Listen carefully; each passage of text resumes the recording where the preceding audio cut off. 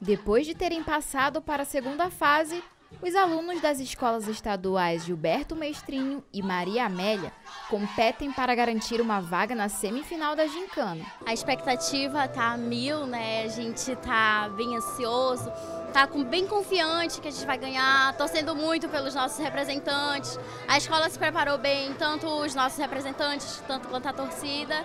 E temos a certeza de que nós vamos passar para a terceira fase. Bom, a gente espera que a gente possa sair tão bem quanto nos saímos na primeira fase. Mas aqui a gente é o Gilberto, não veio para perder não. Mas o espírito de competitividade se mantém.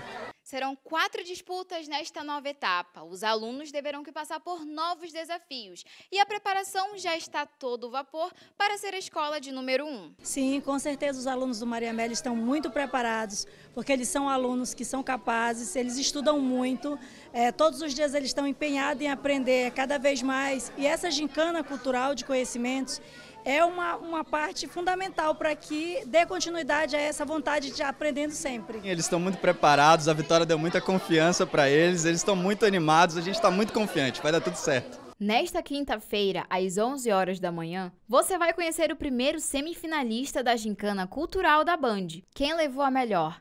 Escola Estadual Gilberto Mestrinho ou Escola Estadual Maria Amélia? Confiantíssimos a nossa preparação foi ótima, nós tivemos muito a estudar, nós estudamos muito e eu tenho certeza que nós não viemos só para aprender, mas viemos para vencer. A gente estudou bastante a semana toda, né? Mas nos, nos finais de semana também a gente tem aqueles joguinhos de quiz, sabe? No celular. Aí a gente estava estudando por eles também. Então vocês estão preparados? Sim. Sempre.